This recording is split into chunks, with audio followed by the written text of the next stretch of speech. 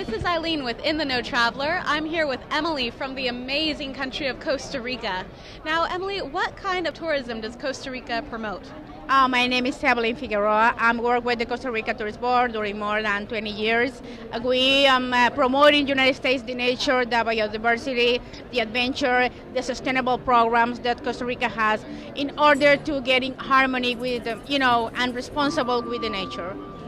Now, for American tourists, what can we expect to see in Costa Rica if we go to explore biodiversity or ecotourism? Mm-hmm. Um, um, right now we're sure that um, they need to get a very good experience. All the travelers wanted uh, um, an experience and i wanted to repeat the experience.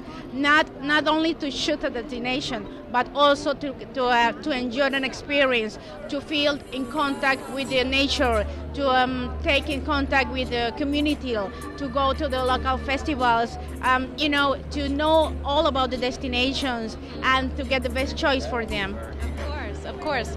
Now, if I were to arrive in Costa Rica tomorrow, what one event or location would you say I just can't miss? this is a very good uh, question and a very hard question too There's to so answer. Many, huh? Yes, there are so many because we have a lot of beaches and national parks around the world. We have volcanoes, we have two oceans, the Pacific and the Caribbean coast too.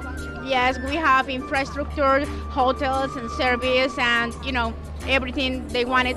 The thing is that they they know the USA Americans know that Costa Rica is closed than the other destinations.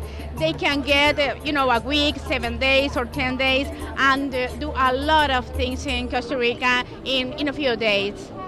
Sounds like a paradise for everyone, huh? Well, this is Eileen with In the Know Traveler, and now you are in the know about Costa Rica.